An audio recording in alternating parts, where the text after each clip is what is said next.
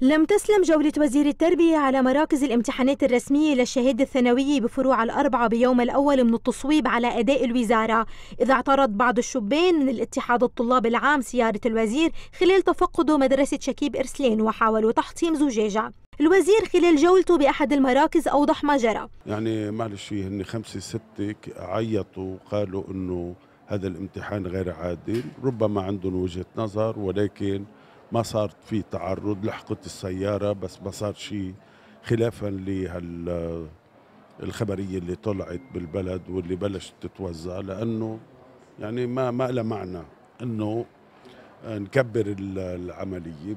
هي ماشي ونحن هاو الشباب الرافضين بندعيهم إلى الهدوء لأنه البلد فيه من العصفورية ما يكفي. لو كانوا من المرشحين كانوا داخل مراكز الامتحان. ولكن يبدو إنه يعني مدفوعين خليني ما بدي اسمي مأجورين ولكنهم مدفوعين. وإزاء الاعتراض اللي سبق نهار الجمعة اعتصام العدد من الطلاب أمام وزارة التربية اعتراضا على سياسات السلطة السياسية تجاه التعليم الرسمي واعتقاد أنه الامتحانات غير عادلة. يبدو أن الوزارة أخذت بعين الاعتبار الظرف غير الطبيعي اللي مر على الطلاب وكان هناك حرص من الوزير على الاطمئنان وأخذ رأيهم بالأسئلة.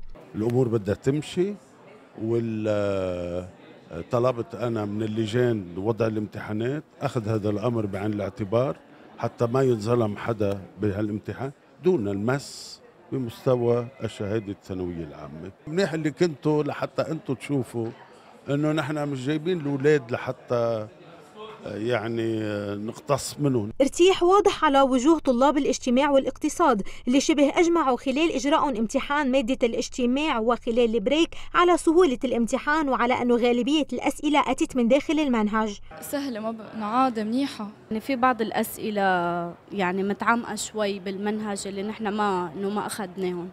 يعني قطعنا عليهم بس ما تعمقنا فيهم. الحمد لله كل شيء منيح. ما ما في صعوبة يعني إذا واحد دارس هينين. راح تكون أصعب.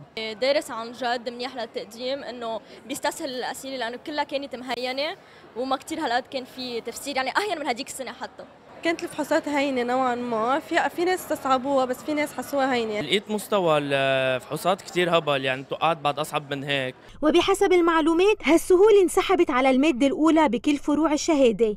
الامتحانات مستمرة يومي الثلاثاء والخميس ل 44300 طالب اللي بنتمنى لهم النجاح للانتقال لمرحلة جديدة بحياتهم.